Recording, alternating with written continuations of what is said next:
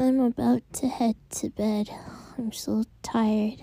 Uh, sorry I can't do a countdown with all of you guys, but I do miss you guys a lot. I hope it is a better year for all of us. And thank you again, everyone. Bye. Um, thank you, everybody. Let's let's laugh again soon, okay? No more crying, no more sad tears. Let's be happy for the new year. Okay, so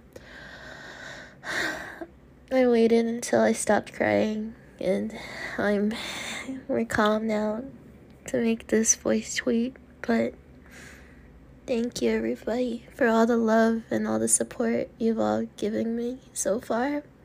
And I was honestly caught off guard by the announcement as well.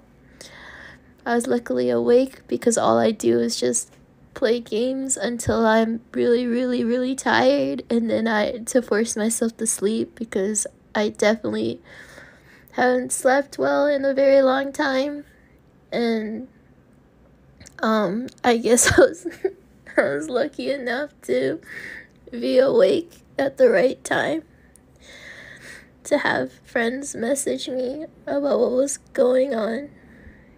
Um, but anyway, I just want to say thank you, everybody.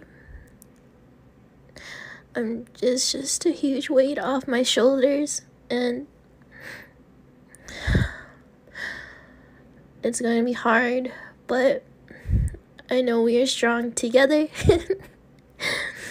and I'm just happy I'll be able to celebrate Lunar New Year with all of you because that was what I was most, I guess, not most concerned about, but at least we get to start off Lunar New Year a little happier. um, anyway, also gone 多谢全部人都继续 support 我，我好开心可以同咁多人。 倾偈同咁多人咁爱我。And also I want to say thank you to all my old and new friends for backing me up and seeing all the friends I've made in the past couple of years messaging me, giving their public support, giving their testimonies about me and how, and all the artists. Thank you. I really appreciate it.